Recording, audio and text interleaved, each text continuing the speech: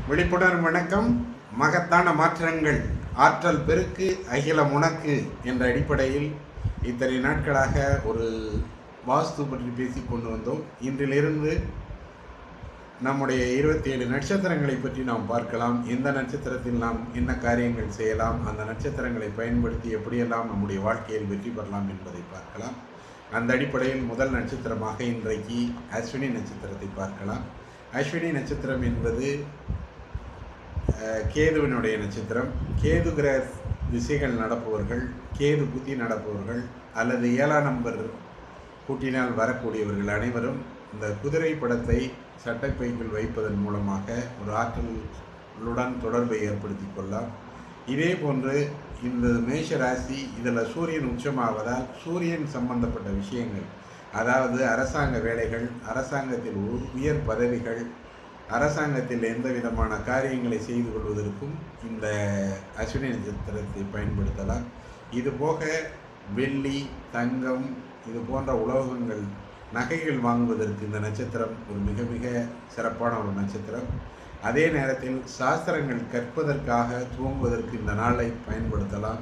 அந்த நாளில் சாஸ்திரங்கள் கற்றுக்கொள்வதை பயன்படுத்துவதன் மூலமாக வெற்றிகள் பெறுவதற்கான வாய்ப்புகள் ஏராளமாக இருக்கிறது. இதே போன்று முடி காணிக்கைன்னு சொல்லக்கூடிய மொட்டையடித்தல் போன்றவை அஸ்வினி நட்சத்திரத்தில் செய்வது ஒரு சிறப்பான ஒரு விஷயமாக இருக்கும். இதே போன்று கால்நடைகள் வாங்குவது இந்த மாதிரியான நுட்பங்களுக்கு இதை பயன்படுத்தலாம். சூரியன் உச்சமாவதால் சூரியனுடைய அதிதேவதையான சரஸ்வதியை நாம் வழிபாடு செய்வதற்கும் இந்த நட்சத்திரத்தை பயன்படுத்தலாம். சரஸ்வதியை தொடர்ச்சியாக வழிபாடு செய்து வருவதன் மூலமாகவும் சூரியனுடைய ஆற்றலை பெறலாம். ஏனென்றால் சூரியனின் அதிதேவதை சரஸ்வதி. இதே போன்று யாராவது எம்எல்ஏ ஆகணும் அல்லது தொடர்ச்சியாக ஏதோ ஒரு பதவி அரசு பதவிகளை அடைய வேண்டும் என்று விரும்புபவர்கள் தொடர்ச்சியாக ஆறு மாதங்கள் அஸ்வினி நட்சத்திரம் வரும் பொழுது திருவண்ணாமலை சென்று கிரிவலம் வந்து அருணாச்சலேஸ்வரை வழிபட்டு கொண்டு வந்தால் அவர்களுக்குள்ள தடைகள் நீங்குவதை பார்க்க முடியும். அரசு பதவிகளில் வெற்றியடைவதற்கு இந்த அஸ்வினி நட்சத்திரத்தை பயன்படுத்துவதன் மூலமாக வெற்றிகளை பெற முடியும். அதே போன்று வாகனங்கள் வாங்குவதற்கு இது ஒரு சிறப்பான நாள். நம்ம எந்த ஒரு வாகனங்கள் வாங்குவதற்கும் இந்த நாளை நாம் பயன்படுத்தலாம்.